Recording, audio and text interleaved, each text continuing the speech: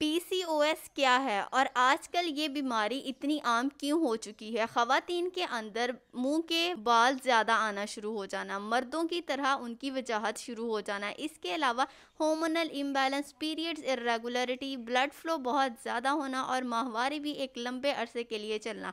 आखिर ये मसाइल क्यों होते हैं? वालेकुम, मैं हूँ डॉक्टर सारमा, आपकी मेडिकल कंसल्टेंट एंड न्यूट्रिशनिस्ट आज के वीडियो में मैं आपके साथ पीसीओएस का ट्रीटमेंट डिस्कस करूँगी, इसकी वजूहत डिस्कस करूँगी और बात करते हैं पीसीओएस पे। फेशियल हेयर ग्रोथ का ज़्यादा हो जाना, ख़ास तौर पे औरतों में।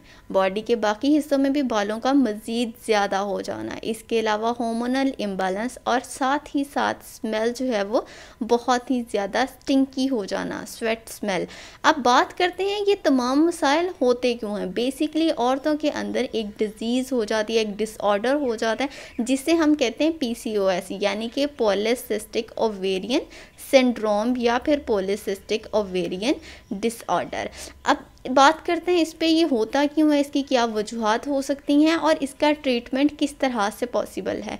अगर हम इसकी वजूहत की बात करें तो नंबर वन वजह ये हो सकती है जेनेटिक फैक्टर वज़न का बहुत ज़्यादा बढ़ जाना या तीसरी वजह इंसुलिन रेजिस्टेंस हो जाना। अब ये तमाम चीज़ें होती किस तरह से हैं? बॉडी के अंदर दो तरह के हार्मोन होते हैं male hormone and female hormone इसी तरह मेल्स के अंदर भी दो तरह के हार्मोन्स होते हैं। बाज़ात ऐसा होता है कि फ़ीमेल्स के अंदर जो मेल हार्मोन है वो बढ़ना शुरू हो जाता है, यानी कि एंड्रोजन जो है वो बढ़ जाता है। Testosterone luteinizing hormone follicle stimulating hormone ये वो हार्मोन है जो कि फीमेल्स के अंदर इनफर्टिलिटी कॉज कर सकते हैं। तो ये हार्मोन जब बढ़ना शुरू हो जाते हैं तो इसी तरह जो फीमेल का सेक्स हार्मोन है एस्ट्रोजन है, उसका लेवल कम होना शुरू हो जाता है। जब एस्ट्रोजन कम हो जाता है तो उसकी वजह से ये होता है कि बॉडी का जो सेक्स पीरियड है ड्यूरेशन है तो वो इरेगुलर होना शुरू हो जाता है, जिसे हम कहते हैं पॉलिसिस्टिक ओवरीज यानी कि ओवरीज के अंदर छोटे छोटे जो हैं, वो सिस्ट बनना शुरू हो जाते हैं। इंसुलिन रेजिस्टेंस की वजह से आपका वज़न बहुत ज़्यादा बढ़ना शुरू हो जाता है, यानी कि अचानक से ख़वातीन जो है वो बहुत मोटी होना शुरू हो जाती हैं। तो इसके लिए स्पेसिफिक एज ग्रुप नहीं है कि ये इस एज ग्रुप की औरतों को होगा, ये किसी भी एज ग्रुप की औरतों को हो सकता है, ख़ास तौर पर बीस से लेकर साठ साल की उम्र में किसी भी एज ग्रुप में पीसीओस हो सकता है। आपको इनमें से कोई भी इलामत महसूस होती हैं तो लाजमी अपने मेडिकल टेस्ट करवाएँ, जिनके अंदर F S H L H lipid profile and glucose tolerance test शामिल हैं। इन तमाम टेस्ट से पता चल जाएगा आपके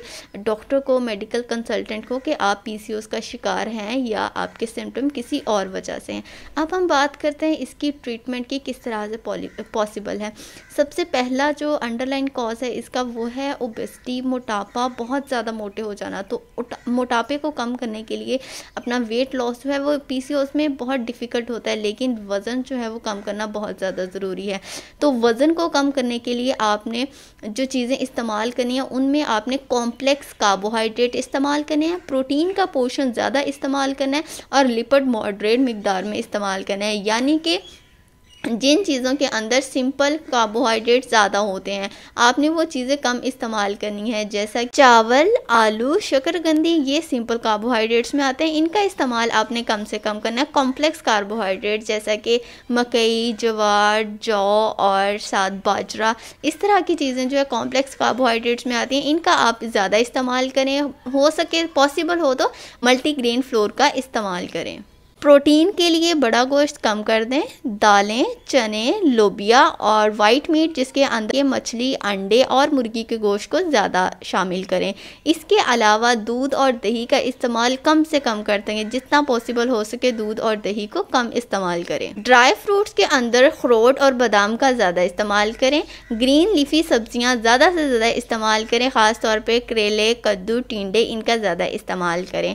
फ्लैक्स सीड यानी कि अलसी के बीज आपके लिए बहुत ही ज़्यादा अच्छे हैं। तो इसलिए रोज़ाना एक चम्मच अलसी के बीज पिसे हुए इस्तेमाल करें। इनसे आपका जो हार्मोनल इम्बैलेंस है, वो बैलेंस होना शुरू हो जाएगा। एक्सरसाइज को अपनी ज़िंदगी का हिस्सा बनाएँ, क्योंकि जब तक आप फ़िज़िकल एक्टिविटी नहीं करेंगे एक्सरसाइज नहीं करेंगे, तब तक आपका जो फ़ैट है, वो अच्छे तरीके से मेटाबोलाइज नहीं हो जाएगा।